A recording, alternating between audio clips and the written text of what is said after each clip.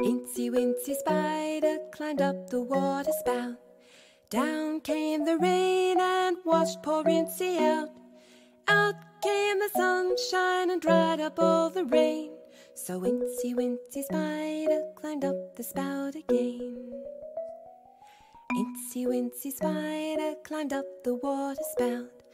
Down came the rain and washed poor Incy out.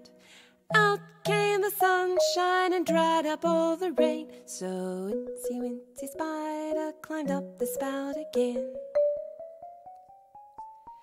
Incy Wincy Spider climbed up the water spout. Down came the rain and washed poor Incy out. Out came the sunshine and dried up all the rain. So Incy Wincy Spider climbed up the spout again.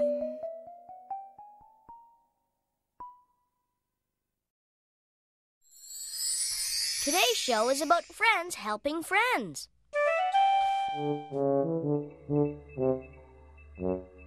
Commander Elliot Mooster, the planet Zog is right below us. Any signs of life, Rocket Socks? Not that I can see. Let's land and explore. Okay. Prepare to land. Engines are shut down, Commander Mooster. Oh. Opening hatch. Wow. Let's be very careful, Rocket Socks. Planet Zog has never been explored before. We might meet some strange space creatures. Shh. Let's hope they're friendly. This way. Ah, definitely red spots on my tongue. Oh, it must be Lionitis. Hmm. I'll check my medical book.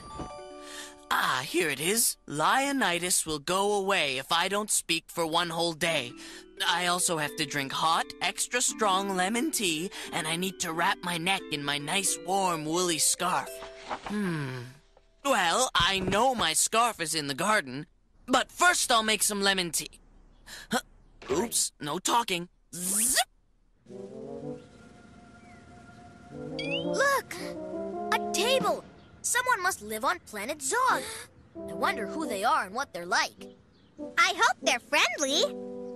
Amazing! A telephone! That means the people on planet Zog can speak to each other. Wow. Let's take it back to the ship and study it. Okay. I'll put it in your banana pack. Oh, look at this, Rocket Socks! A big, warm, woolly scarf! Let's study it, too.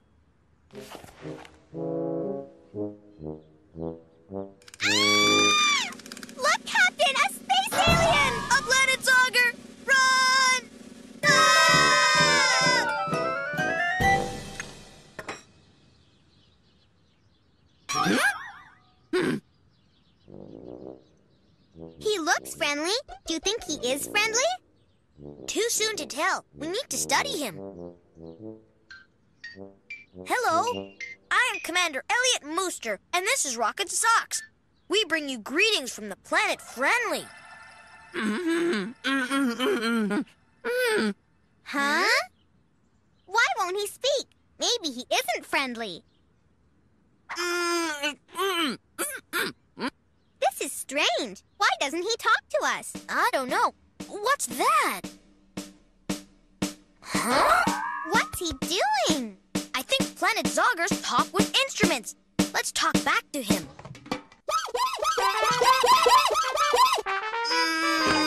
Maybe he doesn't like our music.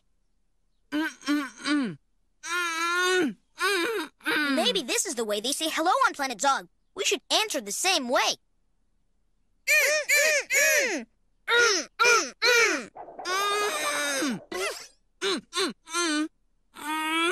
Wait a minute. I think something's wrong. I think he's saying he can't speak.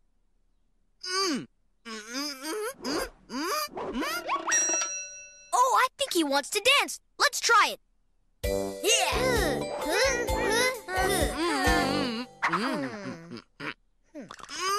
He's cold. And the cold is making your throat sore, right? Uh-oh, I think there's something wrong with his eyes, too. Bye! Planet Zoggers are really hard to understand. He told us his throat was sore. We understood that. Why don't we pretend to be him? What would you do if your throat was really sore? If my throat was sore, then I'd have lemon tea, just like he did. And I'd show my friends that I couldn't speak, just like he did. But he was trying to tell us something else. He kept pointing here, around his neck. Like he was putting on a scarf. That's it! He can't find his scarf because we've got it. We've got to give it to the alien. Mm. Planet Zogger! Is this what you've been looking for? Mm. We're sorry. We didn't mean to take it. Mm. Mm. You're welcome. I'd say the people on Planet Zog are friendly. Yes, once you understand them.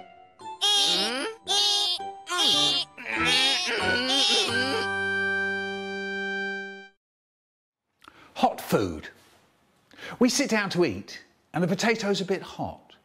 So I only put a little bit on my fork and I blow till it's cool, just cool, then into the mouth.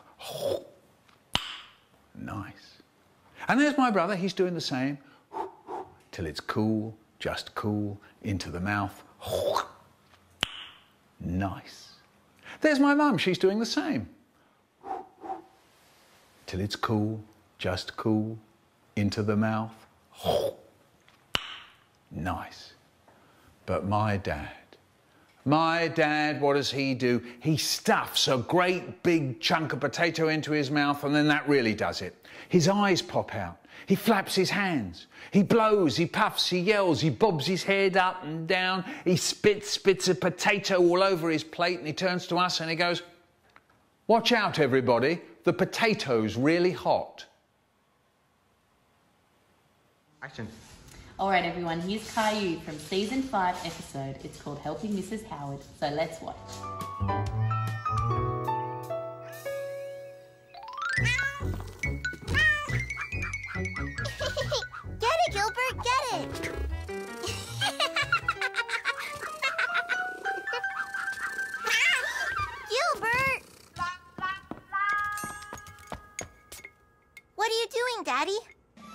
I'm building a ship in a bottle. Can I help? Hmm. Oops. I'm sorry, Caillou. I know you want to help, but this is very tricky work. You can watch. Maybe someone else could use your help today, like Mommy or Rosie. Okay, Daddy. Oops. What are you doing? Puzzle. Can I help? No. Hmm. Bye. You take care, Mrs. Howard. Mrs. Howard! Mommy? Mommy, what happened to Mrs. Howard? She sprained her ankle while going for a walk. It's nothing serious. She just needs to take it easy for a while. Caillou suddenly had a wonderful idea. Mrs. Howard could use my help. That's very nice of you, Caillou. But, I can help her with some chores around the house. well, perhaps Mrs. Howard could use a little help around the house. Let's give her a call and see. Okay.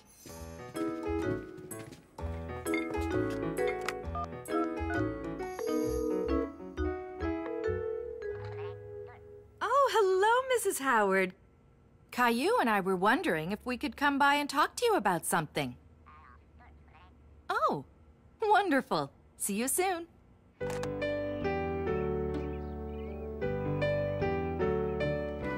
Caillou was very excited at the thought of lending Mrs. Howard a hand. I'm coming. Well, hello there. Now, what is it that I can do for you today, Caillou? I want to help you, Mrs. Howard, with your chores. Is that going to be okay with you, Mrs. Howard? Oh, of course. It's awfully nice of you to want to lend a hand, Caillou. Come on in. Well, I guess I'll leave you to it. Bye, Caillou. Bye, Mommy. All right. Now, let's see. You could help me water the plants, I guess? Yeah! Whoa,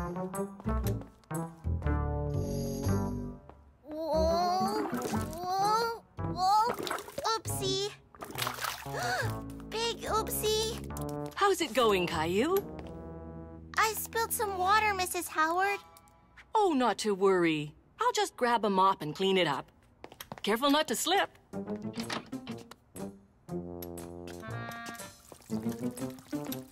Oh, my. Here you go, little plants. Drink up. Now what else can I do, Mrs. Howard? Well, mm, you could do a bit of dusting for me if you like. Okay. There's a feather duster under the sink. I'll get it for you. No, I can get it, Mrs. Howard. oh, that Caillou. What a sweet boy. Was enjoying being such a big help to Mrs. Howard. Ah, that feels better. Bye-bye, Dust.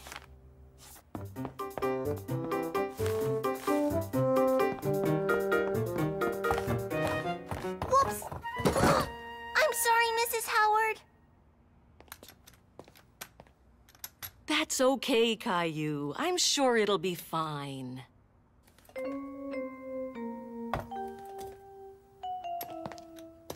It really needed a new lampshade anyway. Caillou didn't mean to ruin Mrs. Howard's lampshade. Suddenly, he didn't feel like such a good helper anymore. You know what would be a really big help to me, Caillou? What? It would be great if you could fetch my mail for me from the mailbox. I can do that.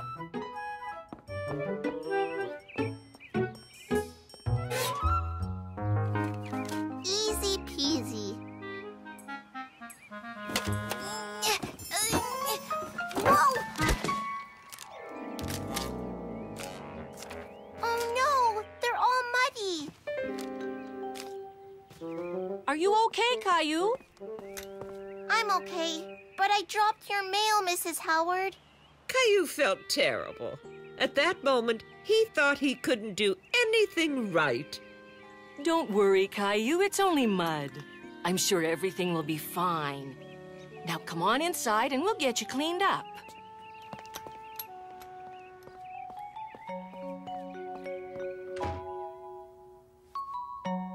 There.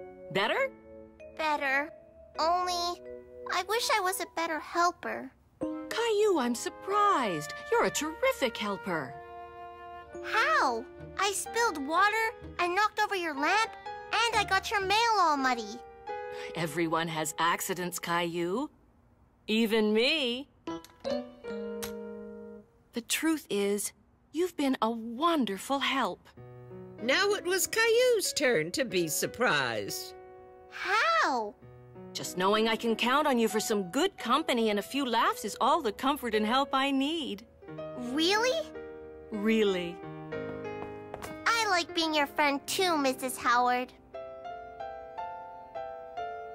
So maybe you'd like to stick around this afternoon and play a game of cards with me? Yeah, I'm good at cards. Great! Whoa! That was a close call, hmm? oh! Oopsie.